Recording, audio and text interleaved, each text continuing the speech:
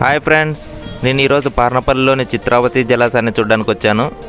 ఈ వంతెన మీద నుంచి చూస్తే చిత్రావతి నది ఏ విధంగా కనబడుతుందో చూద్దాం మనం ఇప్పుడు. మెయిన్ రోడ్లో నుంచి డ్యామ్ దగ్గరికి రెండు కిలోమీటర్లు ఉంది.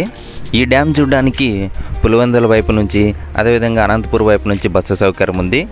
మనం పార్నపల్లికి చేరుకొని అక్కడి నుంచి ఏదైనా వెహికల్ తీసుకొని ఈ డ్యామ్కి చేరుకోవాల్సి ఉంటుంది. డ్యామ్ ముందర ఉన్నటువంటి నీళ్ళల్లో కానీ చూసినట్లయితేనా వచ్చిన సందర్శకులు స్థానికులు గాలం వేసి చేపలు పడుతూ కనిపిస్తారు మనకి. ఈ రిజర్వాయర్ దగ్గర రాత్రి బస్ చేయాలన్న వారి కోసం పర్యాటక వసతి కేంద్రం ఉంది. దీన్ని మెయింటైన్ చేసే అతని పేరు వచ్చేసి చంద్ర. ఆయన ఫోన్ నెంబర్ నేను డిస్క్రిప్షన్లో ఉంచుతాను. మీకు ఏవైనా డీటెయిల్స్ కావాల్సి ఉంటే అతనికి ఫోన్ చేసి మీరు కనుక్కోండి. ఈ పర్యాటక వసతి కేంద్రము రెండు వేల ఇరవై మూడు జనవరి లాస్ట్కంతా అందుబాటులోకి వస్తుందని చెప్తున్నారు ఇక్కడ వాళ్ళు. ఒక రూమ్లో ఐదు మంది వరకు ఉండొచ్చంట. రూమ్ రెంట్ ప్రైజెస్ గురించి అడిగితే ఇది పూర్తిగా రెడీ అయిన తర్వాత కొత్త ధరలు వచ్చే అవకాశం ఉండొచ్చు అని చెప్తున్నారు వీళ్ళు. డ్యామ్ మీదకి ఎటువంటి వాహనాలు వెళ్ళకుండా ఇక్కడ గేట్లకు తాళం వేసేశారు. డ్యామ్ చూసిన తర్వాత పిల్లలు సరదాగా ఎంజాయ్ చేస్తూ ఆడుకోవడానికి ఇక్కడ ఉయ్యాల జారుడు బండ లాంటివి ఏర్పాటు చేశారు. ఈ డ్యామ్ పక్కనే చిన్న పార్కును డెవలప్ చేశారు. ఇక్కడికి వచ్చేటువంటి పర్యాటకుల్లో చాలామంది ఇక్కడికే భోజనాలు తెచ్చుకొని ఈ పార్కులో భోజనం చేసుకొని వెళ్తున్నారు.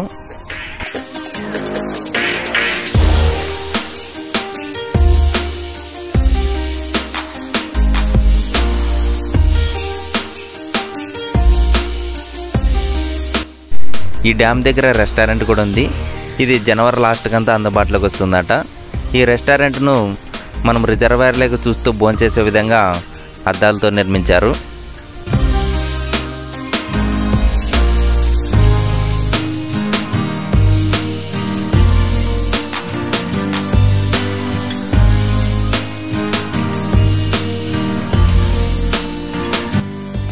పార్నపల్లి డ్యామ్ను చిత్రావతి జలాశయం అని కూడా అంటారు. ఈ డ్యాము పులివెందల నుంచి ముప్పై నాలుగు కిలోమీటర్ల దూరంలో అనంతపురం నుంచి అరవై కిలోమీటర్ల దూరంలో ఉంటుంది.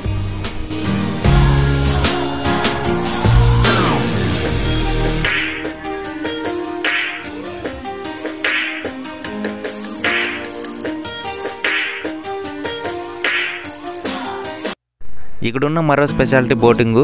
బోట్లో విహరిస్తూ ప్రకృతి అందాలను చూడాలనుకునే వారి కోసం ఇక్కడ బోటింగ్ సౌకర్యం కూడా ఉంది. ఇటువంటి రిజర్వాయర్ల దగ్గర రాగానే చాలామందికి బోటింగ్ చేయాలనిపిస్తూ ఉంటుంది. బోటింగ్ పాయింట్కి వెళ్ళే దారి ఇది. ఈ దారి గుండా మనం బోటింగ్ పాయింట్కి చేరుకొని బోట్లో విహరిద్దాము. ఇక్కడ మూడు రకాల బోట్ సర్వీసులు అందుబాటులో ఉన్నాయి. నేను ఒక్కొక్క దాని గురించి మీకు వివరిస్తాను. మనం బోట్లోకి ఎంటర్ అవగానే డబ్బులు తీసుకొని వీళ్ళు టికెట్ అందజేస్తారు. ఇక్కడ మూడు రకాల బోట్ సర్వీసులు ఉన్నాయని చెప్పాను కదా. అందులో ఒకటి పాంటూరు బోటు ఇందులో పదహైదు మంది వరకు ప్రయాణించవచ్చంట. దీని టికెట్ ధర వచ్చేసి డెబ్బై ఐదు రూపాయలు. ఇది వచ్చేసి డీలక్స్ బోటు. దీని టికెట్ ధర వచ్చేసి ఒక్కొక్కరికి యాభై రూపాయలు. దీంట్లో ఇరవై మంది వరకు ప్రయాణించవచ్చు. ఈ బోట్ కదలడానికి మినిమం పది మంది అయినా ఉండాలి. స్పీడ్ బోట్లో ఆరు మంది వరకు ప్రయాణించవచ్చు. బోట్ కదలడానికి మినిమం నలుగురైనా ఉండాలి. దీని టికెట్ ధర వచ్చేసి ఒక్కొక్కరికి నూట యాభై రూపాయలు. స్పీడ్ బోట్లో నాలుగు నిమిషాల పాటు డ్యామ్లో తిప్పుతారు. మిగిలిన రెండు బోట్లోనూ పది నిమిషాల పాటు డ్యాంలో తిప్పుతూ వ్యూ చూపిస్తారు. బోటింగ్ వారంలో అన్ని రోజులు అందుబాటులో ఉంటుంది. బోటింగ్ టైమింగ్ వచ్చేసి ఉదయం తొమ్మిది గంటల నుంచి సాయంత్రం ఐదు గంటల వరకు. డ్యామ్కు దగ్గరలో ప్రశాంతమైన వాతావరణంలో కోన రామలింగేశ్వర స్వామి టెంపుల్ ఉంటుంది. చూడడానికి గుడి సింపుల్గా బాగుంటుందండి ఇక్కడ. చూడాలనుకున్న వాళ్ళు వచ్చేసి ఇక్కడ ఒకసారి చూడండి.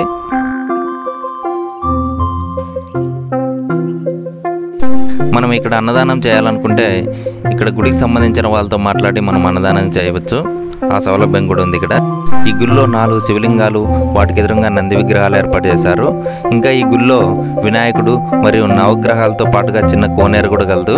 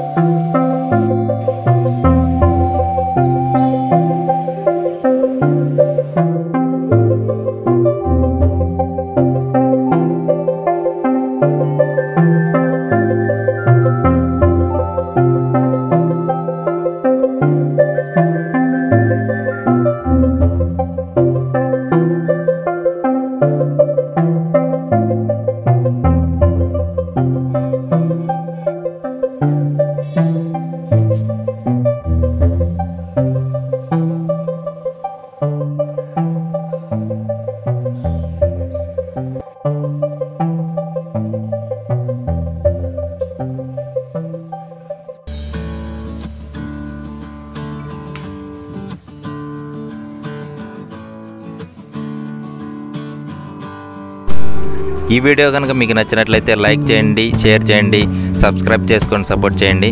Thank you for watching friends